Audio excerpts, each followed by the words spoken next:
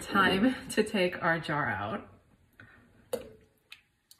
When making pickles, make sure you choose the cucumbers that are short and bumpy. Pack the cucumbers in, but not too tight. I love the smell of dill. This is mustard seeds, big handful of garlic, pot of hot water, sea salt, vinegar. The best pickles are homemade pickles.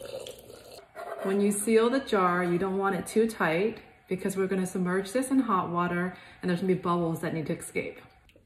It's been 15 minutes. Let's take our pickles out.